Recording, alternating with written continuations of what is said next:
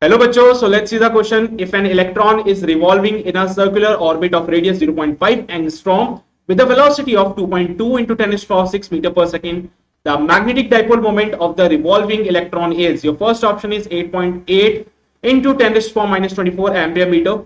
Second option is 8.8 into 10 to the minus 23 ampere meter. Your third option is 8.8 into 10 to the minus 22 ampere meter and the fourth option is 8.8 into 10 to the power minus 21 ampere meter. So here in this question you have an electron and it is revolving in a circular orbit of radius 0.5 angstrom.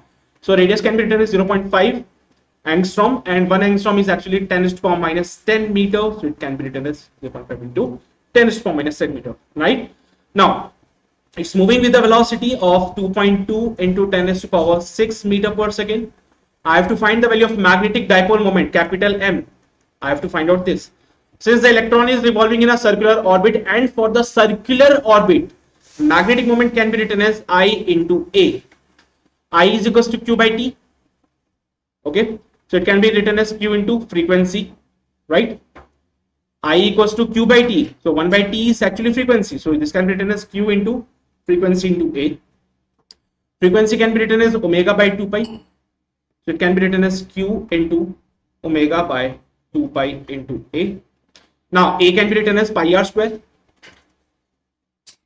So we can write it like q into omega. Omega can be also written as v by r. So v by r into 2 pi into pi r square.